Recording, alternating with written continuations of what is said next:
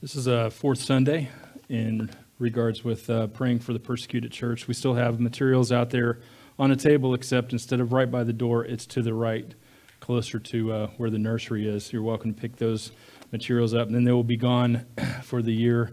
But uh, you can subscribe to a free year of um, Voice of the Martyrs magazine. Did want to tell you about a one of the stories that uh, video that we showed, which is really hard to watch um, before we pray. It was in Colombia. No, there, no, I mean, there's no video, right? Yeah, it was a video that we played several years ago. Watch the back folk get panic when I talked about a video that we don't have playing today. I'm sorry. Was, no, it was a video we watched many, many years ago uh, when we did it. But uh, it was uh, just wanted to briefly capsulize this. It was pretty rough because it was um, several Christians on a work bus, and they got pulled over by guerrilla soldiers in Colombia. They ordered everyone off uh, the bus, had them kneel down on the side of the road. There's 28 people, and uh, they were all yelling for them to shut up, shut up, and they all had rifles. And and one of the gentlemen. Um, started singing and worshiping God just closing his eyes, just worshiping Jesus. Told him, shut up, shut up, shut up. Took out a pistol and just shot him in the head. Slumped over. And there's people crying and going, like, this is going to be it. And they just started just to mow everybody down. It was a true story that happened. And uh, 28 people lay there. What is interesting is they went around to make sure that everybody was dead if they were moving, they would actually shoot him again to make sure that they were dead. This particular brother lay down there motionless and was still alive. He was the only guy that survived. He was the guy that was singing. Later on, the, these guerrilla soldiers ended up being arrested, put in jail, and this particular brother went to see the murderers who were actually captured in jail. Led Bible studies with them, led several of them to the Lord, and got to baptize uh, one particular guy who shot him and he was still in prison, and there's film of them together. And basically, what happened is he got shot in the side. Temple took out, took out his eye, but he did not die. And he didn't receive a second shot, which gave him the opportunity to go to jail to love on these people in the name of Jesus. That's what persecution can look like to actually love those who are enemies. And that's what Jesus did. Father, forgive them, they don't know what they're doing. From the cross as he was nailed to a cross. Our example is Jesus. And there's many, many stories like this in Voice of the Martyrs, actual real people. And so we pray for those people to, that their witness would not fade, that they would not shrink back, that they would be bold and share the love of Jesus and continue to be increasing in their faith. And that's why we get to pray. That's why we get to pray in a place like this to pray for our brothers and sisters. So if you would join me. Thank you, God, for examples like Guillermo, who loved, loved those who shot and killed so many people that he was there with on that bus that day. And yet, because of your grace and your great love and your great example, showed him how to actually love people in the name of Jesus who were murderers of so many of his friends that day to love unconditionally, and for people then to be moved at what a great God this must be, what a great faith this must be, that you would choose to love those who would bring you harm, that you would choose to love and to share this glorious good news with people who so desperately need it. Lord, we pray for the church to increase, give them strength, increase their faith. Lord, we do ask that you protect them. But more importantly, as we talk about this topic today, we pray that you protect their hearts and guard their hearts so that they would love you no matter what this life brings. In Jesus' name, amen. Yeah, so this is the fourth part of a series uh, that we are, I'm, I'm gathering from uh, a book called The Slumber of Christianity.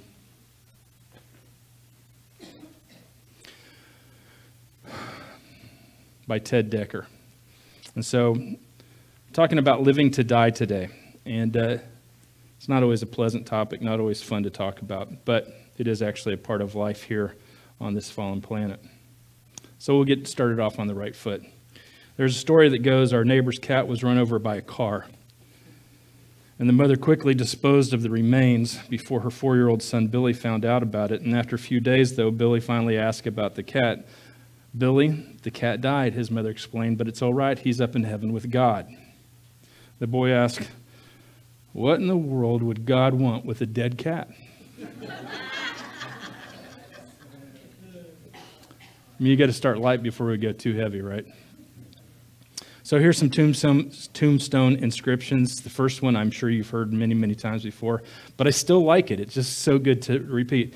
Here lies Lester Moore, four slugs from a 44, no less, no more. That's classic. You just can't beat that one. From Lincoln, Maine, underneath this pile of stones lies all that's left of Sally Jones. Her name was Briggs. It was not Jones, but Jones was used to rhyme with stones. I like that one. And classic, this, this could only, as Chester would say, only in America. Um, from Skaneateles, New York, here lies Jane Smith, wife of Thomas Smith, marble cutter. This monument was erected, and I'm sure, John, you're going to like this one as well, being a monument man. The, this monument was erected by her husband as a tribute to her memory and a specimen of his work. Monuments of the same style, $350.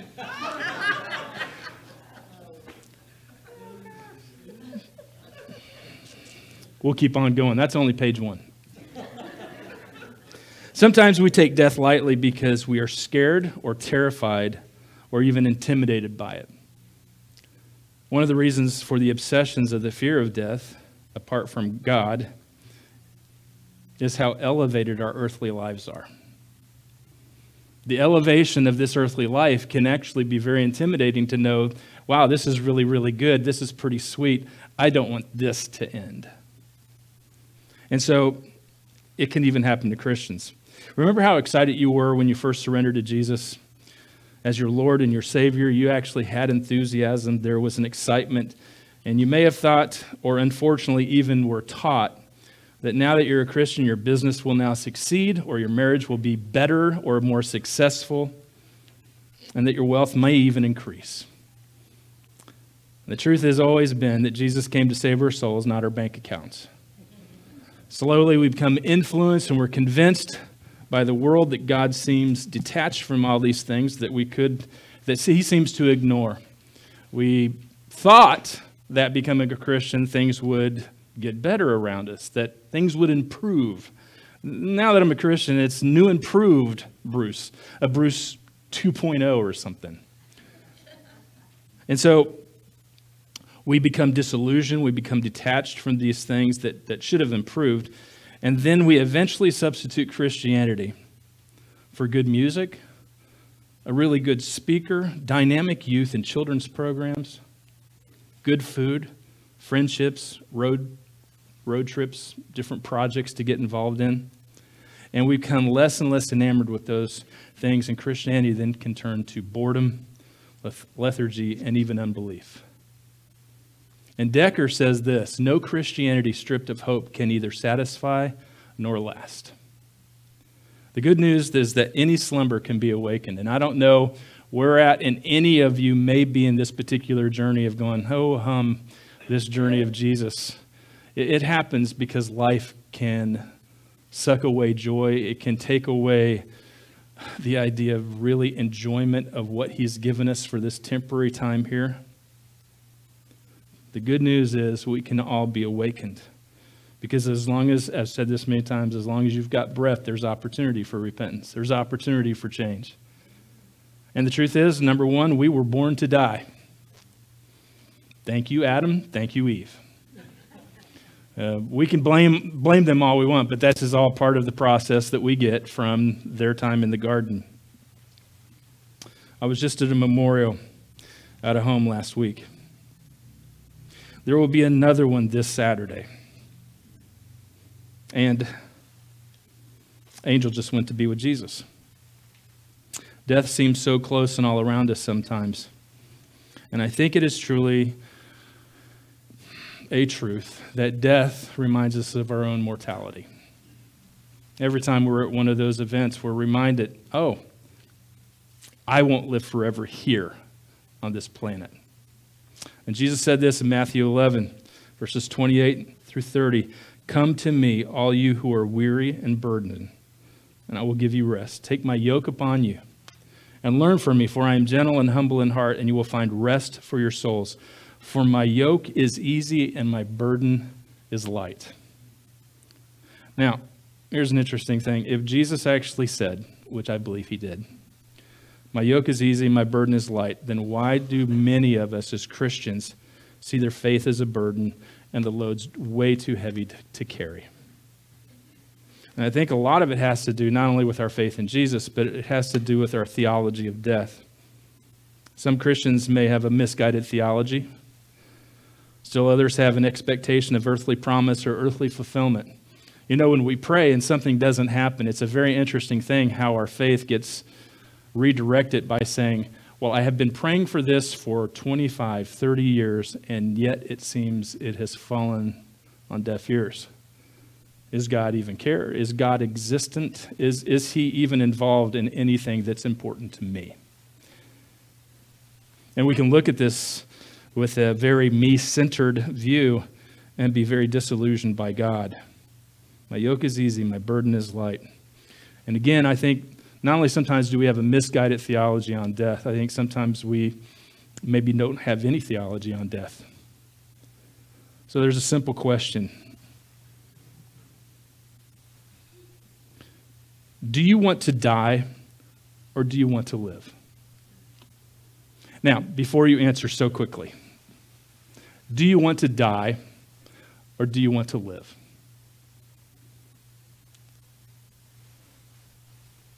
If you're a Christian, you think you maybe there's supposed to be an answer I'm supposed to say, but the logical question, if uh, the logical answer, if I could say it, of course I want to live. Most of you would say that without hesitation. So, if you're a Christian, then how do you answer that question? The logical one is yes, I want to live. But then the next question is how then will we really live? And of course, I thought about two books for reference points. One is Francis Schaeffer, How Should We Then Live? It's a great book if you really like big words and reading really slow. Or if you're really smart, you'd probably gobble this up in an hour. But it's an amazing book. It's very deep, very heavy. Francis Schaeffer, How Then Should We Live? Of course, Charles Colson, not to borrow or copy that name, said, How now shall we live? How now, brown cow, how shall we live? Uh, Charles Colson, it was a really good one.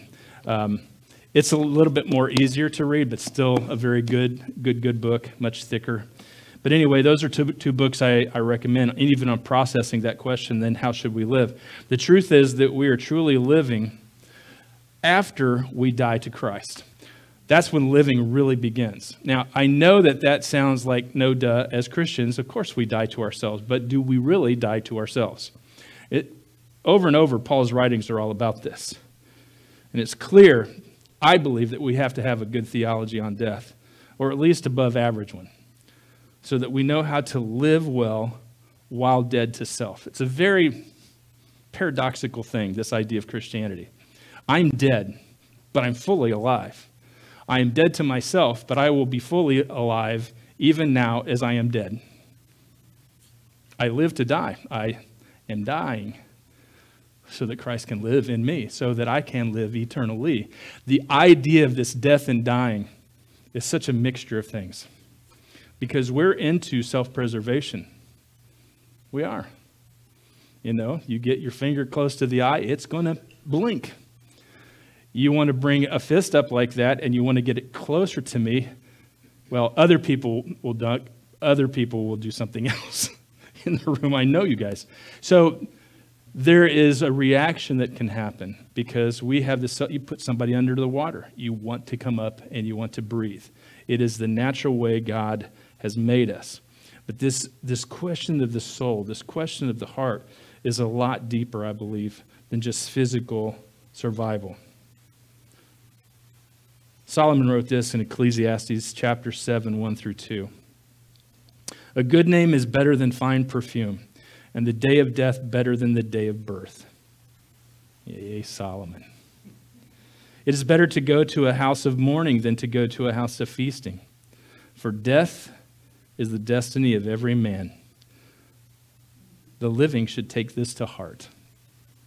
It's a very interesting phrasing that he writes in Ecclesiastes. There's an interesting thing that I found this, this last week.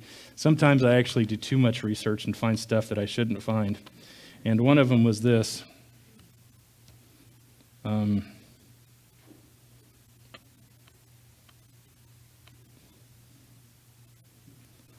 it is called the World Death Clock. Per year, at least estimated this year, 56 million people will die.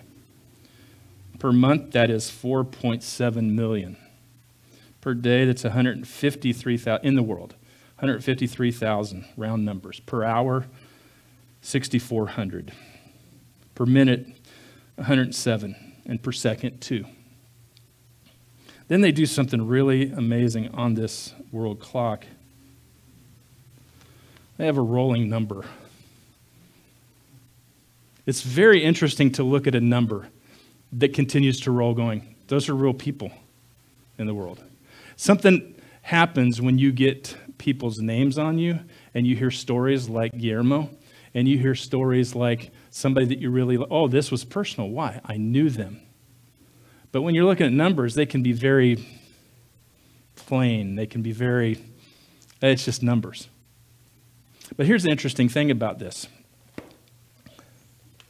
the people, I don't know, was it 70 some people that died in the hurricane? Hurricane related in Florida or Lee County, something around that number. It was over 100 in Florida. But around 70, those people had not planned on dying that day.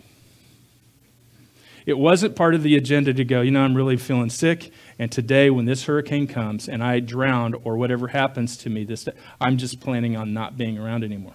Most people are not in a position to be able to go, this is my plan. I've got it all mapped out. When our dear little sister was having dinner with her friend Maria and just put on her dancing shoes, I hadn't planned that night just to go home. The deal is, you don't know when your last day is.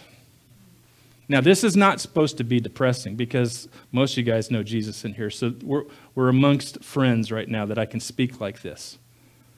You know how this wouldn't be really fun if it was full of people who didn't know Jesus? It just it has a different vibe to it. Why are you being so negative? Why are you being so dark? The deal is we're just not planning on this. But here's the difference. For those of us in Jesus, this is very interesting why Solomon would say this. For death is the destiny of every person. The living should take this to heart. To, to know that it's definitely going to come. And then to live in a way to know, I don't know how, if I'm going to have one day or if I'm going to have 17 more years. To live in that way. And we always talk about that in Christianity the idea you never know. This could be our last day. Sometimes it's used as like fear tactics and throwing little smoke bombs to, oh, got my attention. You know, you just never know. But it's interesting when we know people and we go, oh, that wasn't a plan. That's really, oh, it's so sudden. It's so surprising. In D. Stuart Briscoe's book, Spirit Life, he writes, When I moved to the United States, I was impressed, I think he was from England, with the number of total strangers who visit my home to wish me well. They all sold insurance. One day, my visitor was talking to me about the necessity to be prudent in the preparation for all possibilities. He said, If something should happen to you, Mr. Briscoe, he started to say, but I interrupted. Please don't say that. It upsets me. He was startled. But he, he tried again. But with all due respect, sir, we must be ready if something should happen to us. Don't say that, I insisted, Briscoe says. He looked totally bewildered, and I said, I don't understand what I said to upset you. Then I'll tell you. It upsets me that you talk about life's only certainty as if it is a possibility. Death isn't a possibility. it's a certainty. You don't say if when, you say when. Whenever death is the subject, not if, but when you die. And he tells this insurance salesman, this is, I want you to understand this. And so, as a believer, it's really important to be able to understand this is all part of this. But again, the reality is we're not surprised. Why? Because I'm ready today. I'm ready. If the Lord calls me today, so this is a difference on how we live. You know, you look at these titles, these two books, how then should we live? We live today like it's our last. T- today is a gift from God. And you know what's interesting is we typically do that when we really lose people that we love, going, Oh, what do I need to do? Hug my kids tighter, spend more time. Oh, I could spend more time at the office, but things have changed for me. You know, oh, I could work more, I could be more isolate, but things are different now. Why? Because time is precious. Time is a gift. Life is a gift. And so, therefore, then how do I live? Especially it's interesting when you go, you've got one month to live, maybe three weeks. How then do you live? Would it be any different than what you choose to do right now when you don't know? And that's the beauty of what we get to choose to do, knowing that life is precious here, but it's not all there is. Number two, in living we die. In living, we die, but in dying, we truly live. So sometimes I am bewildered by how we have a hard time in talking about death in our conversations. I think it's our culture's obsession with pleasure and happiness, quite honestly. It's kind of too much to lose by going too soon. We gloss over death because life is so precious here. We actually have this, as I said earlier, this inflated idea of our earthly life. It becomes so more relevant, so much more important that the idea of eternity is no, no, no, no, not yet. It's a very interesting concept. And so, as I bizarrely think about this and share these things with you from the text, um, let's go ahead and continue to have fun. When someone dies, we often soften the blow by saying something like this. If, you, if you've said it, I'm not saying it's a bad thing. I'm just saying that we say things like, well, they're in a better place now, right? Or at least they're not suffering anymore. Now, while these statements are true, they're generally meant more as an intention on easing the pain and the sorrow of death over the obsession and the motivation and the joy towards heaven. You can see the difference. And it's, it's, again, it's not meant to be critical. It's just how we talk sometimes to try to be nice and be easing as opposed to the celebration of Angel's home. That's a different, different mindset. And sure, we miss her. Of course, we miss her. But that's all part of the hope that we have in Christ that we're going to we're going to be together one day. But this isn't over. This little temporary thing that we've called life, this dot on the map of eternity that we call our lifespan, that dot, should be seen with perspective and the obsession and the motivation and the joy towards heaven. And when we many times speak of eternity, we use it more of as a salve or an ointment or a balm to be able to go, but at least there's eternity. So you know, as opposed to our actual goal, our motivation. This is what we live for to live with Jesus forever with his body. That's what we get to look forward to. Now, and I'm not saying that we should rush to get there. You know, there is a thing called drinking your greens and drinking your beets and all the other stuff that you do, taking your vitamins and eating plenty of fiber, etc and sometimes exercising. So, what should we think about? Philippians 4 8. You know this verse. Whatever's true, whatever's noble, whatever's right, whatever's pure, whatever's lovely, whatever is admirable, if anything is excellent or praiseworthy, think about such things. Everything here is, de- is v- devoted and focused upon a God view. Everything here.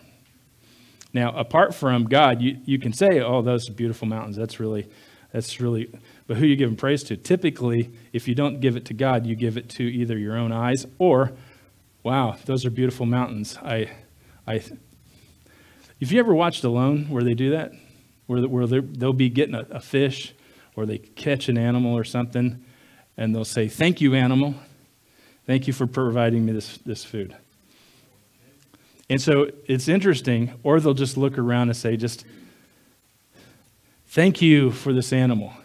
And you just, just looking around at the idea of, of where our focus is. It's an interesting thing. But the idea of whatever's true, noble, right, pure, lovely, admirable, praiseworthy, excellent, the things that those think about all give points, uh, a direction to God.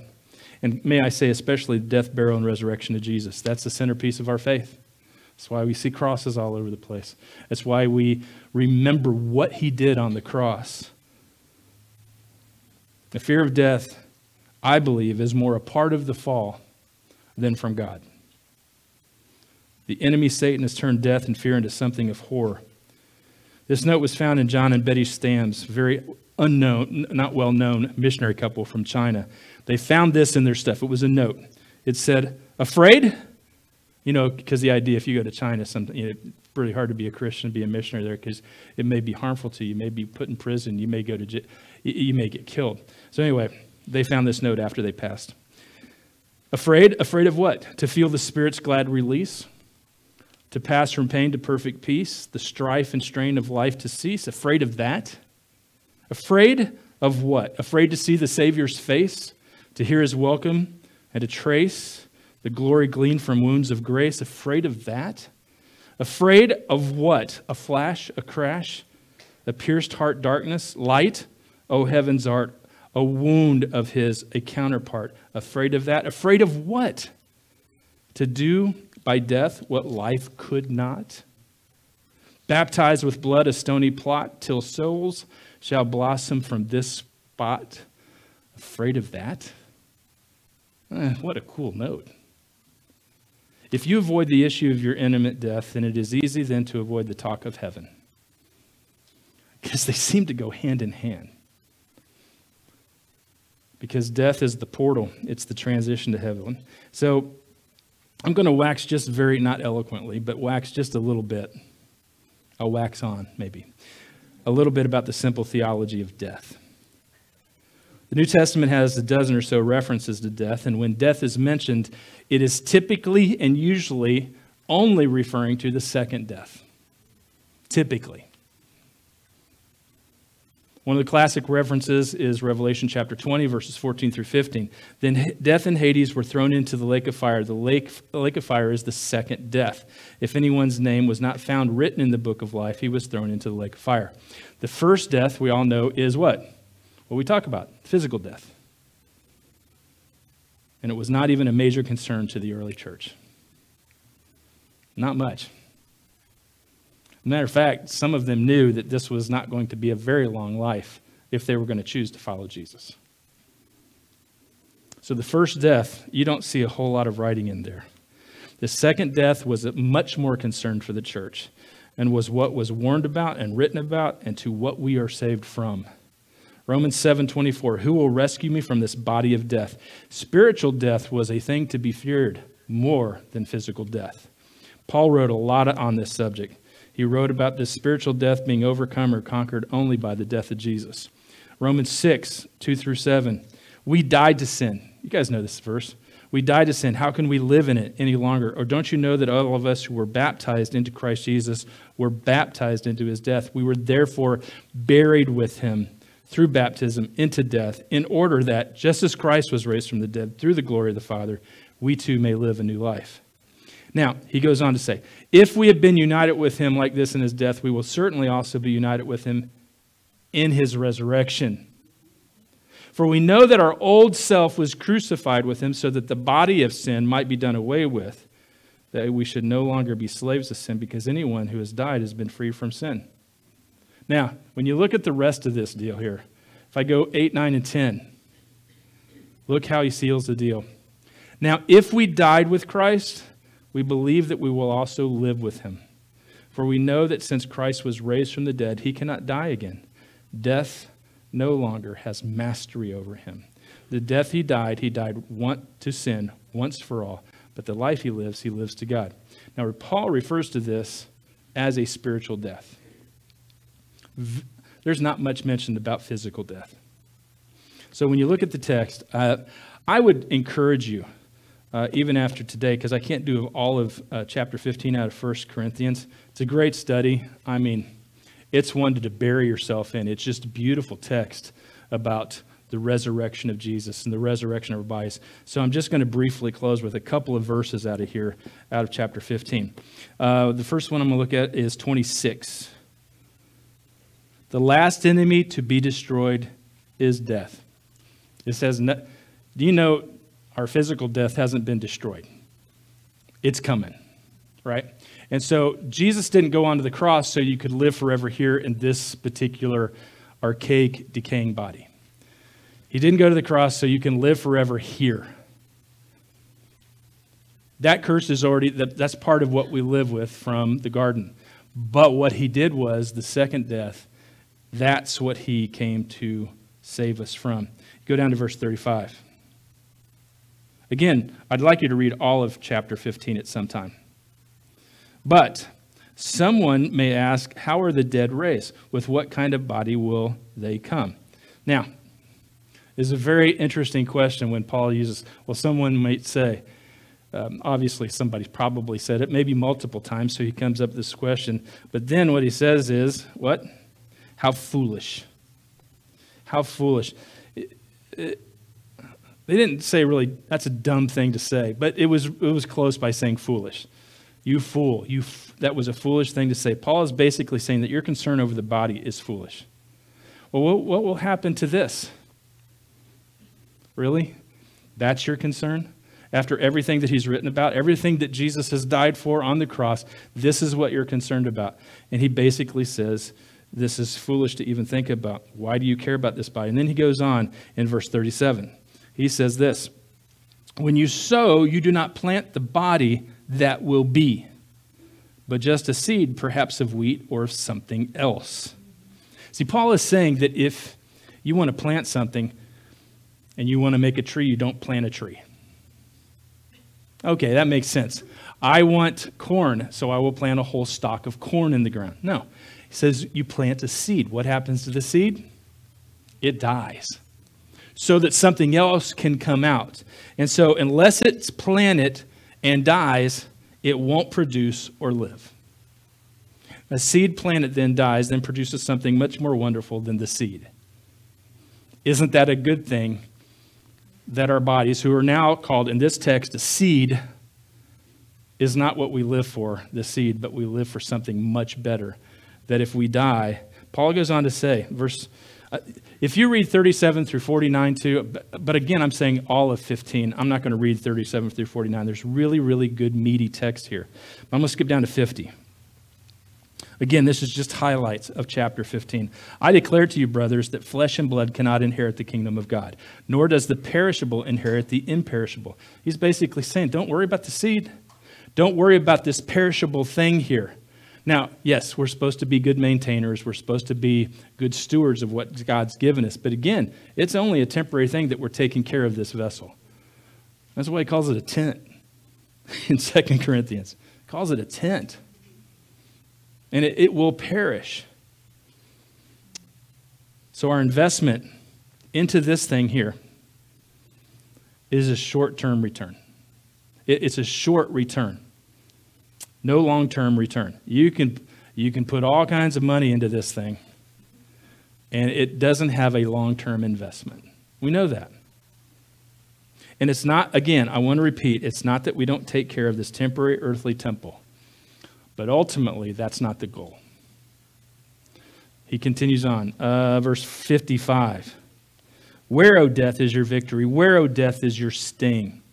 Paul once again is saying, You fools, don't you realize the truth of the sting of death is sin? He says that earlier in the text. Spiritual death is a much bigger deal than the seed we call the human body. And when you look at the fall in the garden with Adam and Eve, the promise of death for disobedience did include physical death.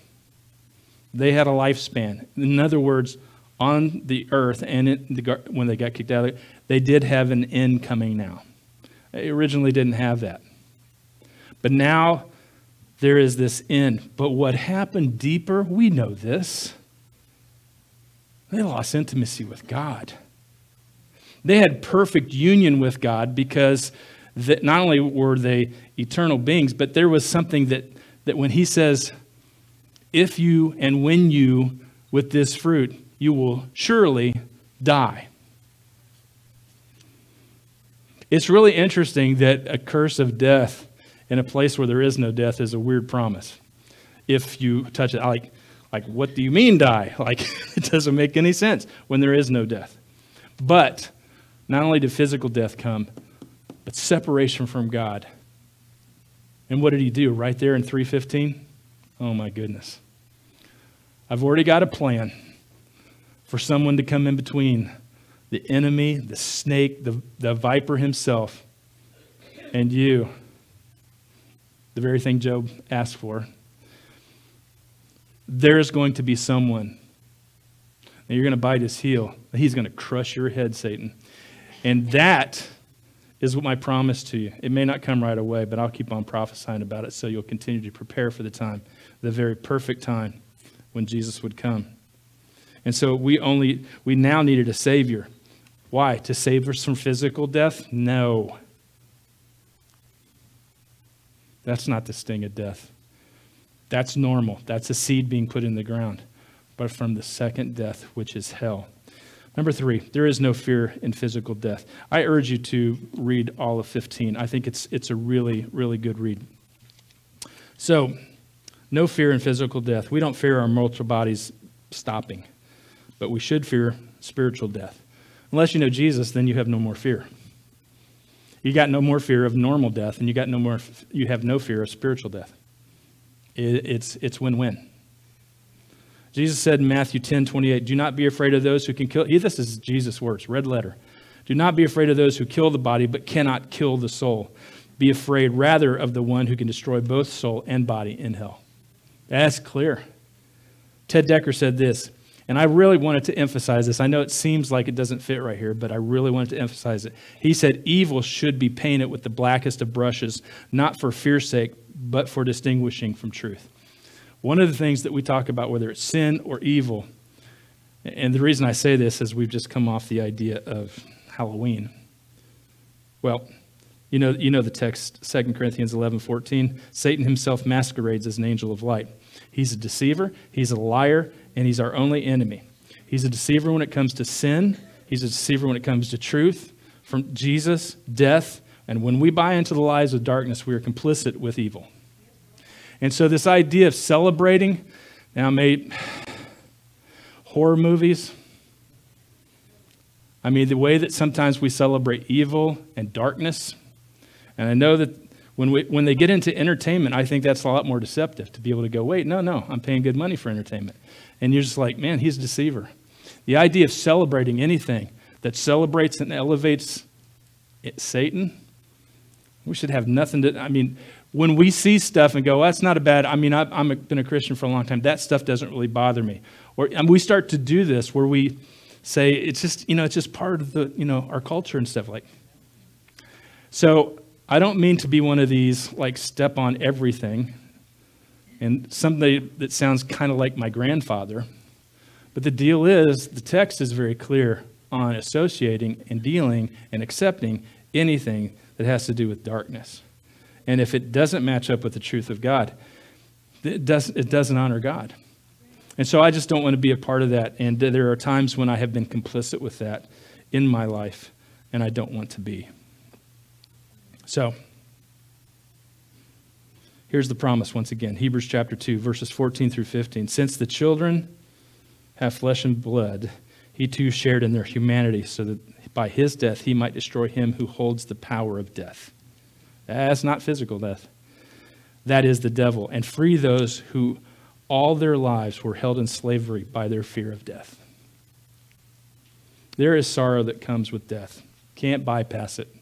When we love deeply, our emotions go with that. So we should not be sorry for going, you know, I just don't really feel right. I don't, I don't feel good. I feel bad. This still hurts my heart. And when I look at this picture, I think of this memory. There's something that's missing.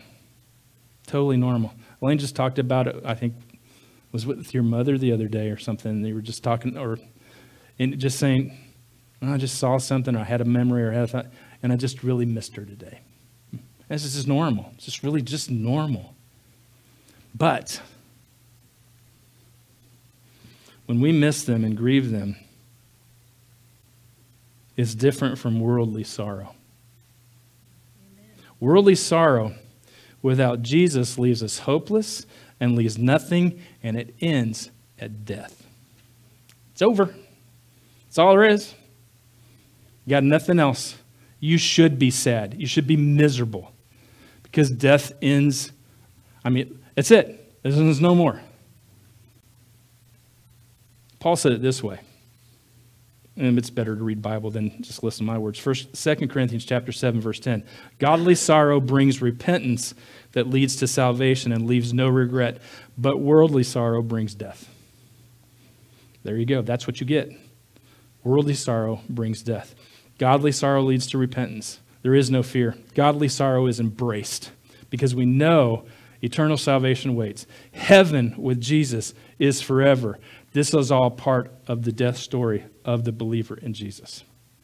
It's what we get to walk in right now and when it happens. It's a different way of living, I'm telling you. It's not that we're morbid and cavalier about death. That's not the point. The point is, we don't see it as a fear point, we don't see it as an end. Godly sorrow leads to repentance. John Climacus, a seventh century ascetic who wrote Ladder of Divine Ascent, urged Christians to use the reality of death to their benefit. He wrote this You cannot pass a day devote, devoutly unless, devoutly or devoutly, O U, devoutly. You cannot pass a day devoutly unless you think of it as your last, he, he wrote. He called the thought of death. You know, even Christians think sometimes this is weird. He, he thought of death as the most essential of all works and a gift from God. The man who lives daily with the thought of death is to be admired, and the man who gives himself to it by the hour is surely a saint. Now, the only way that you get there, if you just leave that sentence by itself, you think, what a weirdo, right? You're just like, what? What is the guy thinking? Like, hey, he's just like all obsessed with death. You know, he's kind of like that. Uh, that was a long movie. He wouldn't get it. Anyway, so some things pass through my mind, and they just should just keep on moving along. Anyway, so this this idea of being admired for thinking of death means that we have an actual understanding of our mortality. We have a proper perspective of what this life is supposed to be about. And we get a chance to give God glory right now with the resources and the tools that He's given us, knowing that this is a short time. So we don't live in fear. We don't live with trepidation. We live with hope. We live with joy. The Apostle John wrote this in Revelation 14 13. Then I heard a voice from heaven say, Write, blessed are the dead who die in the Lord from now on. You get to be written about after you die. Like, blessed are those who die in the Lord. This is celebration. Why? Because they're getting to go home. Eternity is next. The hymn writer Fanny Crosby said this, and I'll close with this thought. Fanny Crosby wrote over 6,000 gospel songs. I can't imagine that. That's a lot of writing. Some of them, if I were to list some of them, you go, oh, yeah, yeah, that was hers. That was hers. Yeah, there's a lot of songs that she wrote. She was blind from an illness at the age of six weeks old. She never became bitter. And one time, a preacher sympathetically remarked, I think it is such a great pity that the Master did not give you sight when he has showered you with so many other great gifts. And she replied quickly, Do you know that if at birth, if I had been able to make one petition, it would have been that I would be born blind? Why? This clergyman asked. Because when I get to heaven, the very first face that I will ever gladden me is to see Jesus.